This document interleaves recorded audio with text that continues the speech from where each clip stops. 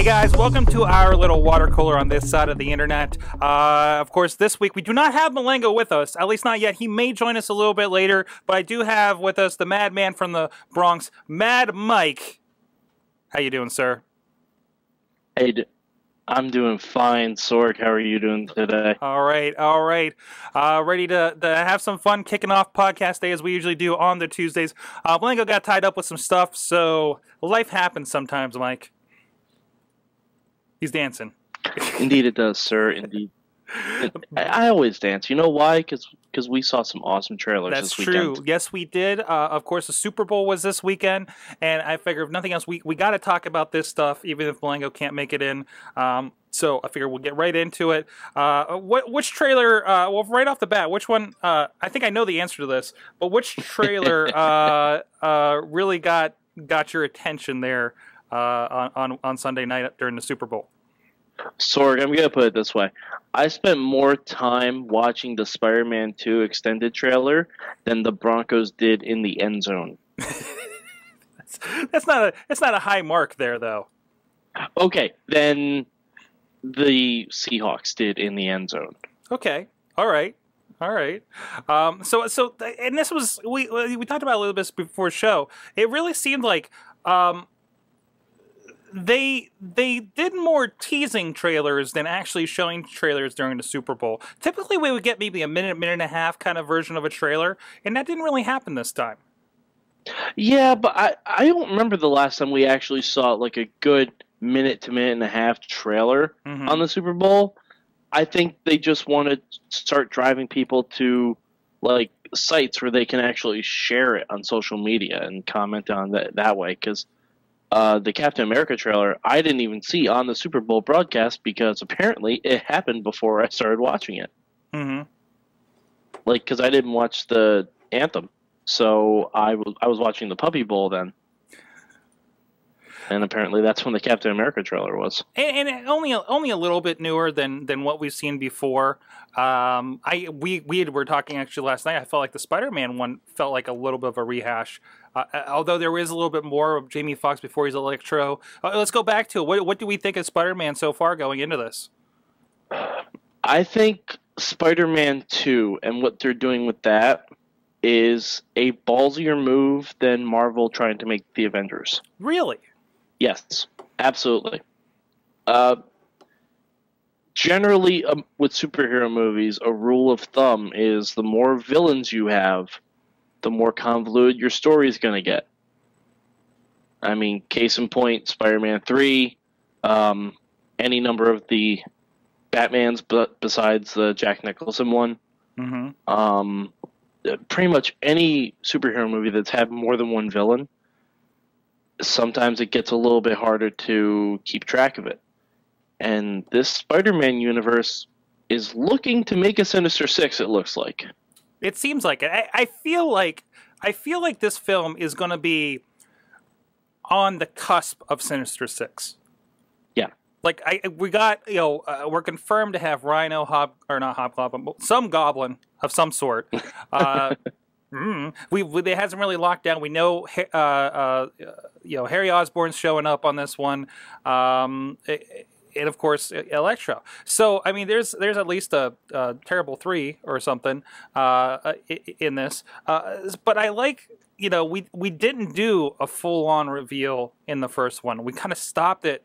it. It really feels like a lot of the the Spider-Man origin. One, yes, they're they're venturing into this whole conspiracy theory side, which I've always from the first movie. It, the first looking at the first movie for Amazing Spider-Man was like, oh, they're doing Ultimate Spider-Man for the most part and it, and it, it, really does feel like it. Um, you know, Gwen's a bigger part of this. I wonder if they do get into Mary Jane at some point here. Um, I don't know, and, and it doesn't look from like they're going heard, to yet. What I've heard, Mary Jane's been cut from the movie. Like all, uh, sure. I heard Mary Jane was cut from the movie, and I think that's fine. You know, um, I think just people don't remember Gwen Stacy being a part of Spider-Man because it's so long ago in the comics, at least. Um, and I don't think they touch on Gwen in a lot of the newer cartoons either. So Spec Spidey they did. Spec Spidey was all about Gwen. Was it? Okay. Yes. Yeah, Spec I mean Spec the Spectacular Spider-Man, my favorite version of Spider-Man ever. Um had a lot to do with Gwen. It still had Mary Jane and a lot of those other supporting characters and all that, but it was about the Spider-Man Gwen love story, and that's what I do like about uh, this new movie series. But I'm really curious to see what they do with his dad because Richard Parker has never really been explored that much. Even even in the Ultimate Universe, like he was responsible for Venom, but other than that, like we didn't really get much of it, much of else of anything out of him. And I don't know why. I feel like Richard Parker is going to be alive. Could be. Could be. Um, Chachi's going nuts in the chat room uh, about Batman Begins had Scarecrow in the league and had Joker. Rises had Bane. You can say even you know, Rises had Bane. yeah, and I didn't like Batman Talia. Begins. I didn't like Dark Knight Rises. Um, Dark Knight had Joker and at the end Two Face. true. Once you get past two villains, hmm that's when it starts to get a little gray. No, I think they do it right where the majority of the movie was Joker, and then Two Face just kind of gets stuck in at the end there, and and you don't Yeah. have to go much more into it. Yeah, I remember when I first saw Dark Knight, I didn't think we were going to get Two Face because I knew Harvey Dent was in it, so obviously, you know, Mhm. seeds are being laid. But I didn't think we would get Two Face. kind of the feeling I feel like we're getting with the Amazing Spider-Man, where where we're laying seeds. We could see a Sinister Six just pop up at the end. Maybe they just throw powers on some thugs and that's it. Well, in the trailer, I mean, in I played the video game of Amazing Spider-Man, which takes place after the first movie. So it's kind of interesting because they talk about Alistair Smythe. hmm Um, in the video game, they had Scorpion, and they talk about Alistair Smythe doing all sorts of experiments. And in the trailer, they show vulture wings, they show octopus arms, and as far as we know, Curt Connors is still alive. Yeah. So, yeah, I mean, they have seven or eight villains lined up because they've also said Alistair Smythe is going to be in the movie. So that's another villain that you can just tack on to any sort of Sinister Six that you might want to do. All right, real quick, keeping it in the Marvel universe, what do we think of uh, Captain America here? Uh, it, it looks like it's going to be a lot of fun. It really uh, still kind of has the feel of Avengers, but not quite as big. I mean, we still we're going to have a lot of a lot of heroes in this. Falcon's going to be in it, of course. Black Widow's going to be back. Um, but it definitely feels more modern. Uh, it's going to be a big change from the the first one. Um, uh, what do you think of it so far? Um, well, I, I go to Ed Brubaker for my Captain America opinions because he's the one writing or has written Captain America. I think he's still on the book. And he said that Winter Soldier is the best Marvel movie they've ever made. Mhm. And it really looks like it. I mean, you have mini helicarriers, you have Falcon, you have Winter Soldier being a huge badass, and no reveal in the trailer, which I thought was really cool Mm-hmm. Because a lot of people probably do not know who the Winter Soldier And is. I love this because I'm sitting there and I, and and I don't, you know, I'm, I'm you know watching it with my wife and I'm, I'm like, hey, this is gonna be fun. He's like, he's like, you, I was like, do you, do you know who Winter Soldier is gonna be? And she's like, oh, I have no idea. I was like, I can't wait to go see it and and and they do that reveal. Uh, I hope people remember him. yeah. Oh yeah, that's true. Because That's he true. looks a little different. I, I mean, I mean, seriously, anybody can go Google the Winter Soldier and figure out what they're doing, unless they do some kind of swervy thing that he's not what he is in the books, which they could do. Um, they completely could do. I'm pretty sure it's the same actor. Yeah, I'm pretty sure. it's- I'm pretty sure it is too. They did show him a bit more on this one, on, on this last trailer. Yeah, and I, I uh, like. I still love that he reaches out and grabs the shield. Yeah, that that that, that is pretty good. Uh, And finally, on trailers, I want to get to Transformers for uh, Age of Extinction. We have Dinobots. Sorg, why did they keep pulling me back in with Transformers movies? You because I didn't wanna see this the one. I, but there's such a jer- there's no Shia LaBeouf on this one. There's there's gonna be there's gonna be Dinobots. It looks like there's gonna be Predacons uh, from from the looks of things. Um, there's freaking Optimus Prime riding a Dinobot. Why not? I'm, uh, what? Why? Why do they keep pulling me back in? I don't want to see this. Like I saw the first one. The first one was fine. It was enjoyable. It was a good attempt. The second one, nailed Starscream, so I was okay with that. I After I saw second the third one, I'm like, oh, this could have used some Megan Fox, and I never thought I would say that. That's okay. You'll get her in trans. Or I'm sorry, Ninja Turtles.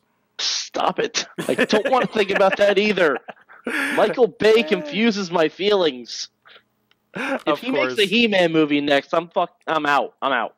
Only if like Dolph Lundgren at least has a cameo in it, so we can acknowledge that. I mean, he's still doing If stuff. Dolph obviously. Lundgren is Skeletor, I'm back in. okay, okay, I'll do that. He kind of looks like Skeletor without the makeup, so you don't even have to worry about it. I about know it'd be perfect. Uh, all right, you had a couple news items you wanted to uh, uh, to talk about here.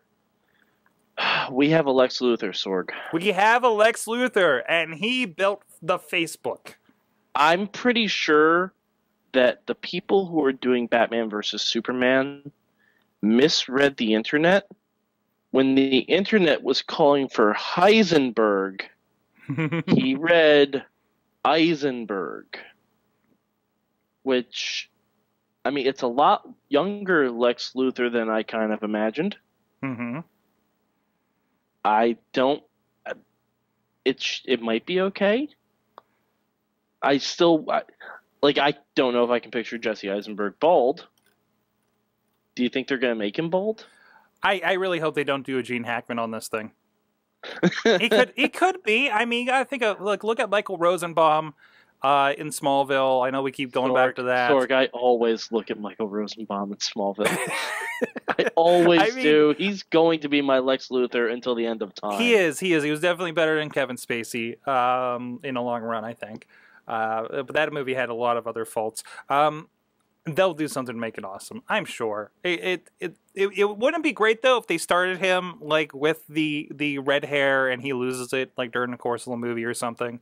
Um, you know, as he's done at various, I think, different points as far as the uh, the books go and, and other series and everything like that. I, I'm excited for it. I mean, it, it's they keep adding like levels of awesomeness to this movie that I can't even comprehend at this point.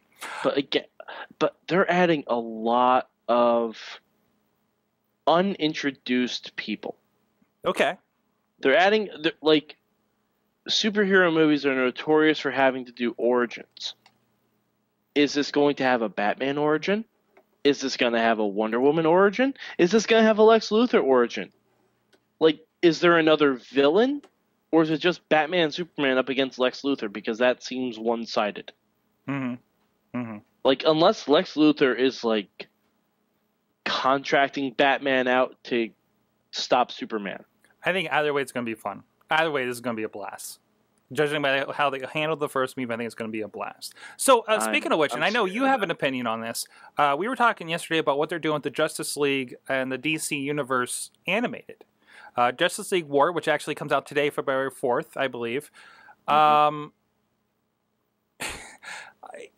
is uh, going to be the beginning of a new shared con- continuity that they're going to do, which is basically going to consist of i- including this Justice League War, which is based on the new 52 first story for uh, Justice League on the book, and then Son of Batman, uh, which is the Damian introduction story that again is included. Uh, sort of with New 52, but it's not I really was a New going to say, 52. Damian started before the reboot. Right, right. But they're they're still kind of including that story as part of canon. Um, Well, that's because Batman didn't have to reboot. that's true. That's true. Batman Batman was the only I think the only franchise in New 52 that didn't have an entirely new continuity. hmm Yeah, they definitely took elements from the older still Nightwing. Uh, the Robins are certain people. Um, uh, the Batman Inc. still is a thing. Batman Inc. kind of weirdly crossed over as well. Um, Mhm. So I mean that's a whole other thing. Uh, That's that, aside from that. So so the plan is, as, as we discussed last night while we were doing a hangout, uh, it was it's going to be uh, one Batman, one Justice League every year, and then one not necessarily in continuity movie. Which the first one for 2014 is going to be Batman Arkham, uh, presumably based on the Arkham Asylum, Arkham City games uh, that have been coming out the last few years. I really hope they get the same voice actors for that. I was gonna say if they have Tara Strong and Mark Hamill, yeah, count me in. Yeah. Count me in. I don't personally like the Arkham games. They were a little too convoluted for me. hmm Uh, I'm I'm just a different type of gamer, but um, I heard the story is amazing. I would love to see it played out in an animated movie. yeah. So I'm okay with that. But as far as the new 52, I have my misgivings given that I don't like any of the books I've read in the New 52. We'll agree Like, to disagree on that as well because I've been having a lot of fun with some of them. You, you haven't even have you read Court of Owls, Night of Owls? I do want to read that. I've heard that's very I good. think that would change your Um, opinion on New Fifty Two being a complete bust. Okay, it, it'll, but Bat, it's easier right Batman. It is. It is. Let's but no, honest. but no, no It's this, easier this write is Batman. this is a different Batman. This is a, but that's a whole other show. That's a whole other show. Um, I did see Yes. a movie this week that we can talk about briefly. Oblivion with Tom Cruise. Mike, Isn't that Elysium with Matt Damon only worse? you know, I started. You know, as I was watching it, I was confusing the movie trailers. I'm like, oh, so there's people that live up in the thing above the world, right? Oh no, that was the one with Matt Damon. Oh, all right. Um, a pretty fun twist to it. Um, it, I, I, you know, again, kind of going into it with really little expectations. Um, but uh, uh, basically, Tom Cruise is on a planet. There was some kind of war. It's like 2070 something, um, and he's been, for some reason, mind wiped and put on Earth to, uh, with a partner who he, of course, falls in love with, being uh, uh, stuck in a, a box with a, a with a, a pretty attractive redhead is going to do that to you, I think. Um, and he's supposed to be servicing these fusion reactors. And the story is supposedly everybody went off to a colony on I think it's one of Jupiter's moons. Actually, I think it's one of Saturn's moons, Titan. Um, and uh, and his tour duty is almost over. Uh, and there's something called the Tet, which is what he's communicating with up above uh, the atmosphere. Uh, and then we find out it's not what it seems, and Morgan Freeman shows up to set us straight. Also, guy that loses the hand in Game of Thrones pops up again. Um, which Why does this sound like WALL-E to me? it is kind of WALL-E. It is kind of WALL-E. So Tom Cruise is WALL-E, but he already has his um, Eve, isn't it? Eva? His, Eva? he already Okay. has his Eva, but he kind of finds a new Eva, and then he finds out what really happened to all the rest of the people. But I can't tell you if WALL-E or this one's a sadder um, um, resolution. Okay. I don't know Well, I what happens WALL-E, in Oblivion WALL-E and the basically and- just told us that the Earth was full of fat asses, so we had to leave. Yeah, yeah, yeah. I don't know if it's sadder with the fat asses or sadder the way Oblivion handles it. Uh, either way, it's on HBO right now. Watch it on HBO Go. Um, so uh, uh, definitely, definitely worth you know taking taking the two hours to go ahead and watch it. It was a fun movie. It was a good action movie. Good kind of a little bit suspenseful, you know. Um, so have fun with that. So eh, now you watched something recently, American Hustle, right? I saw American Hustle. Oh, it's so much fun. Such a. It's a long movie. I'm Mhm. gonna throw this out there uh, at Jump Street. It's about two and a half hours. So so be ready for the long haul on this one. Yeah, if you get the leader Dasani water at your Cineplex, um, I recommend not doing that or wearing a diaper, uh, because you don't uh, like. Honestly, the movie it chugs, even though it doesn't feel like it at times. Like it really goes through the goes through the mo like the plot really well. Mhm. Um, the Christian Bale is fantastic throughout. Like, just because the last Christian Bale movie I saw was Dark Knight Rises, and this is as far of a departure from that as possible, and it's fantastic. Uh, just the mannerisms he does, it's all very like con artisty. It's fantastic. Um, Amy Adams is tremendous in it, and as we just saw in the trailer, Jennifer Lawrence doesn't really do much in the first half of the movie, and I was kind of confused as to why people were praising her. But in the second half of the movie, she kind of takes over, like takes over the whole scene and kind of steals every scene that she's in. And to anyone who's been to Long Island or has talked to someone from Long Island, yeah, she nails it. She absolutely nails the Long Island like character. Uh, some people say her accent's off. I say those people have never been to Long Island.